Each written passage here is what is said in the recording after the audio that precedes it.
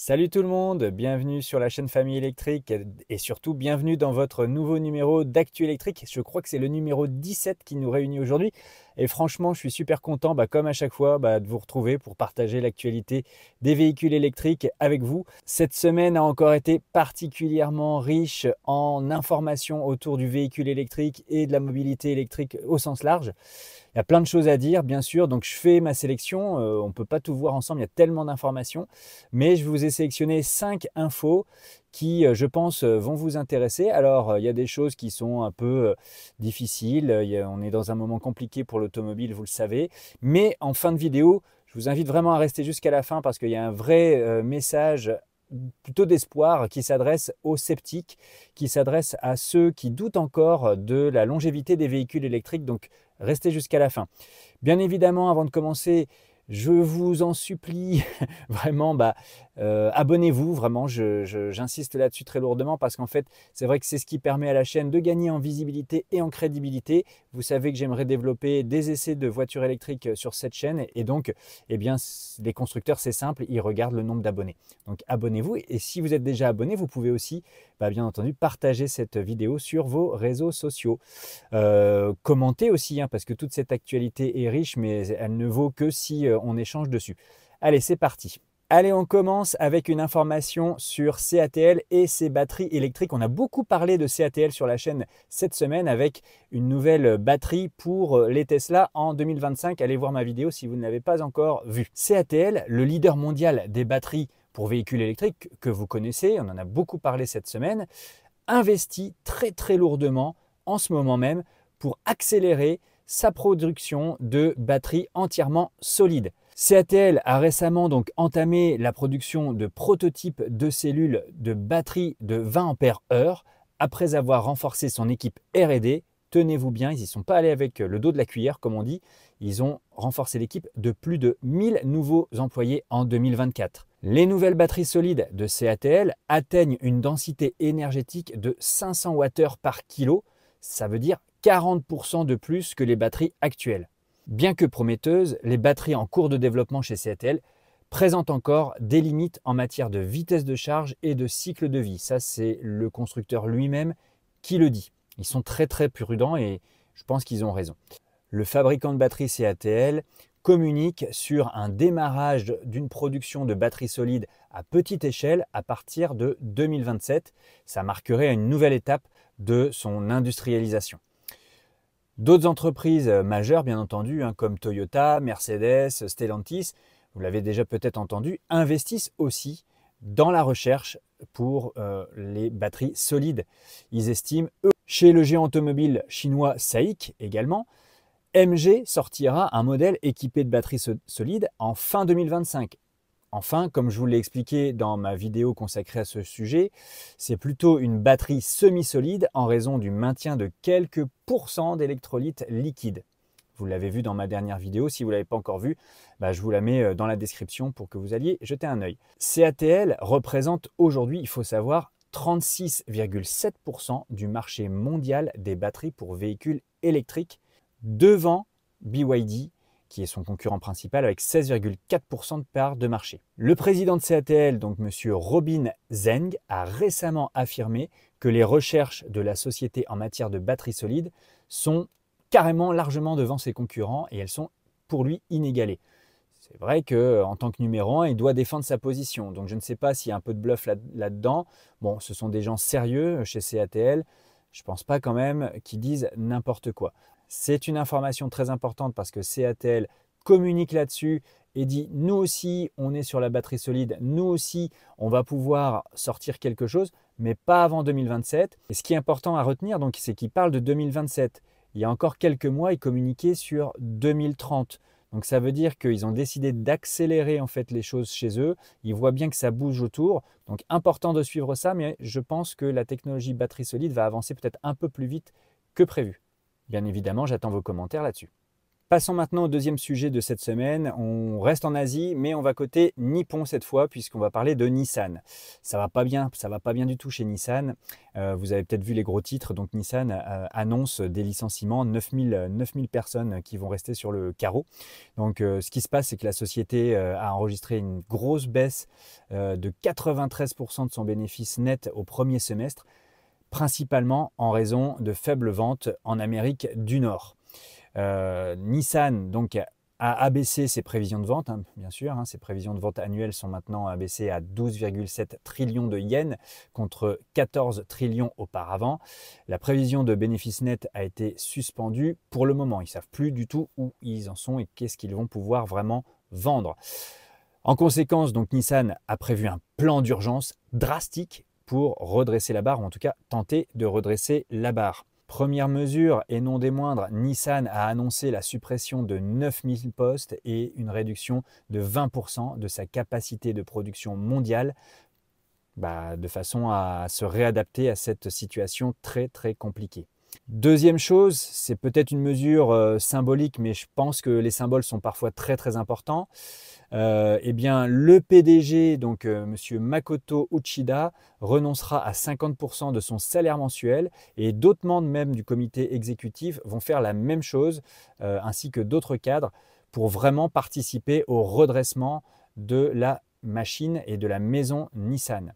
Troisième chose, Nissan prévoit de réduire sa participation dans Mitsubishi Motors et il la ferait passer d'environ 34% à 24% tout en maintenant une collaboration stratégique avec Mitsubishi. Nissan, comme d'autres constructeurs japonais, fait face à une concurrence intense de la part des fabricants chinois de véhicules électriques, ça on le sait, les Européens aussi. Pour illustrer cette situation, eh bien, euh, on n'a qu'à regarder les ventes en Chine. Elles ont baissé donc pour Nissan d'environ 2,5% en un an.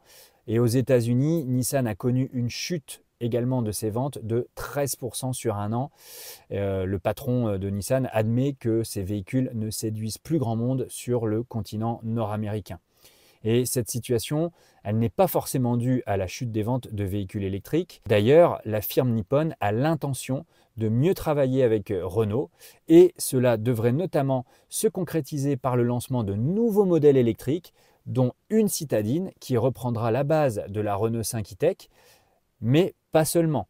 Euh, il y a quelques jours, on a aussi appris que le constructeur japonais va aussi travailler avec euh, Renault pour concevoir une cousine de la future Twingo électrique à moins de 20 000 euros.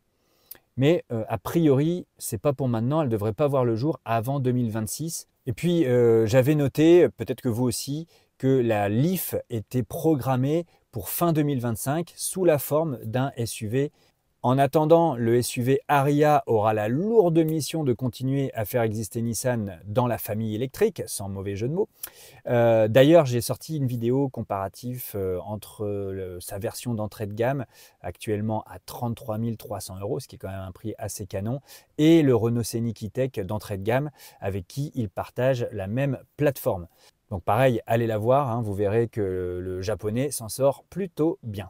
Allez, je vous propose de continuer notre voyage dans l'actu électrique en revenant en France cette fois, euh, où euh, bah, on va parler de Jean-Philippe Imparato, euh, qui est donc le patron de Stellantis pour l'Europe et qui est passé donc devant la commission des affaires économiques de l'Assemblée nationale en France, qui a souhaité l'auditionner sur les intentions de Stellantis en Europe et dans le monde. Hein.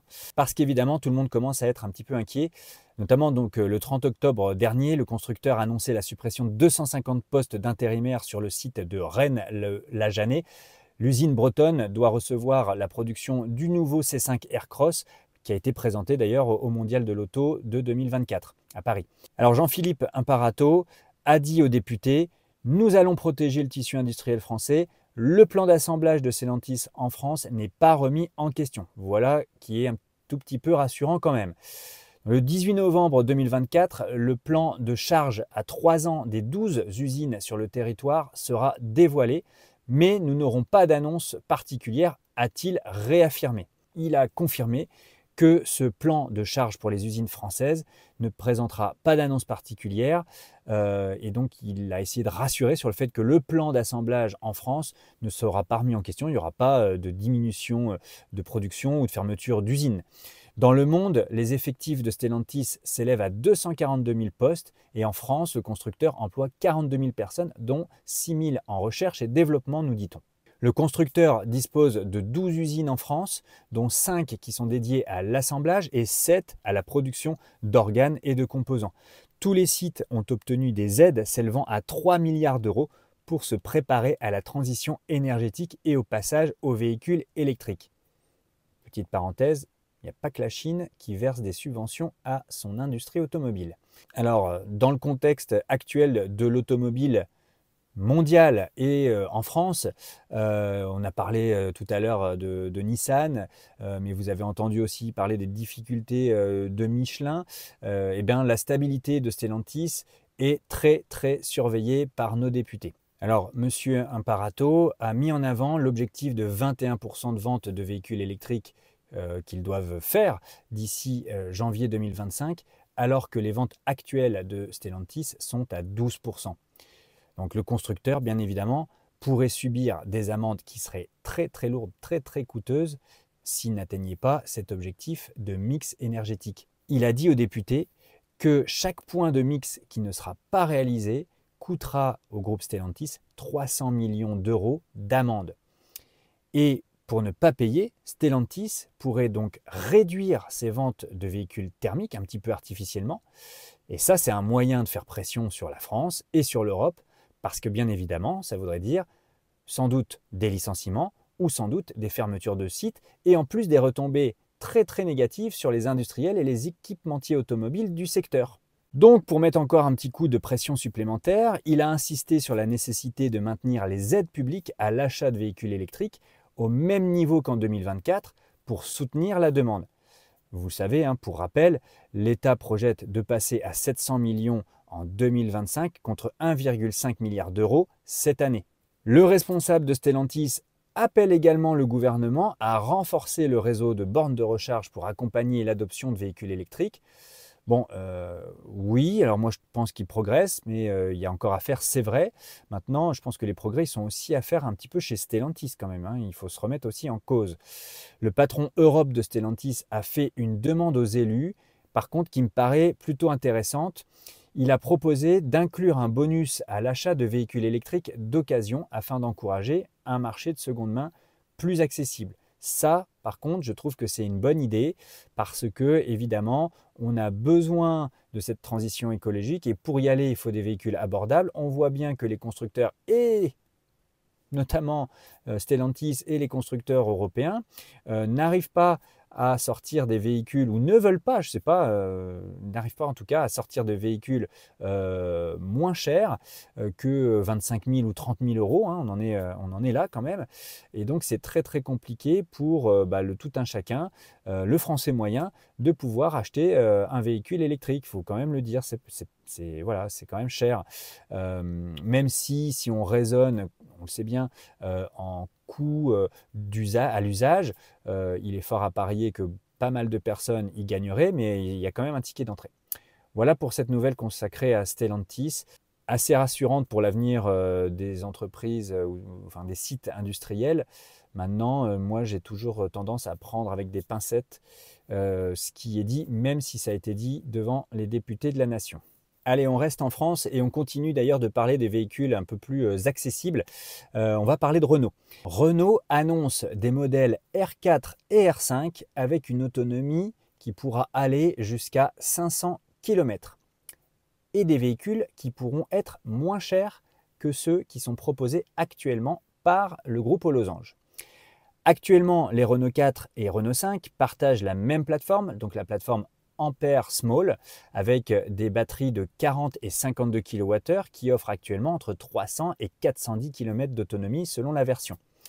D'ici 2026, on a appris que les Renault 4 et Renault 5 devraient offrir une autonomie pouvant aller jusqu'à 500 km, soit une amélioration de près de 25% par rapport aux versions actuelles. Donc le patron de Renault, euh, Dimeo, euh, a annoncé que Renault allait intégrer des batteries LFP, enfin, lithium, fer, phosphate, dans les modèles de base qui seront donc moins coûteux qu'ils ne le sont aujourd'hui, puisque ces batteries sont moins chères, hein, elles ont une densité plus faible.